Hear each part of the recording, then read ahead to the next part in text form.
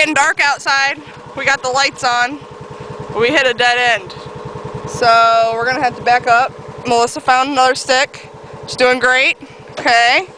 And I think we got to back out of this one. Well, let's just see. I think that we got a dead end here. We got a dead end. Let's see. Lots of lots of mosquitoes. I don't know if you can see them or not, but Yeah, we'll probably end up with some disease. yeah. Doing this for the kids. All for the kids. All for the kids. All right. Well, here we go. We are going to uh, we're gonna reverse, and there is no mirror, so We are doing this freehand. we're doing this. I'm turning it around here. Here we go. Here we go. Doing great. Danger!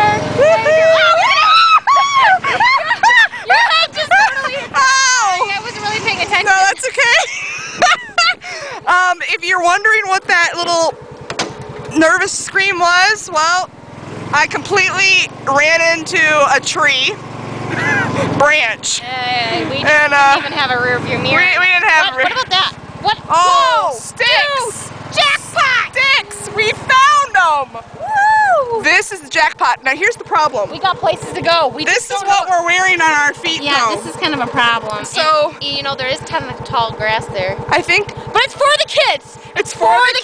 It's for, the kids. Are doing for the kids. for the kids, right now. Right now. For Right the kids. now. Here we go. Okay, let's All right. go. Ready? Uh, is there poison ivy? I don't know. Go ahead. Okay.